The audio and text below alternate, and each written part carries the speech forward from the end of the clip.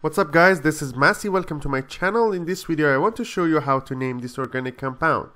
As you see here we have ethene group here and we have methyl group here. They are connected to each other by an oxygen atom so it means that we have an ether. So if I want to name it, here we have alkoxy group so it's gonna be methoxy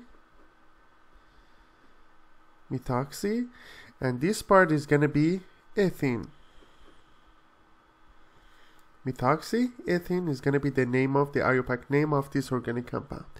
If I want to show you the common name, here we have methyl group and here ethene if you take one hydrogen out is going to be vinyl.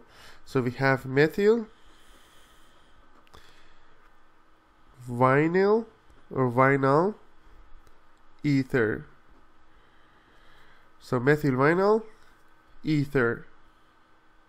It's gonna be the common name. I hope you enjoyed this video. If you found it useful, please like this video. You can also subscribe this channel to have access to many other videos regarding math and science. Thank you for watching and have a great day.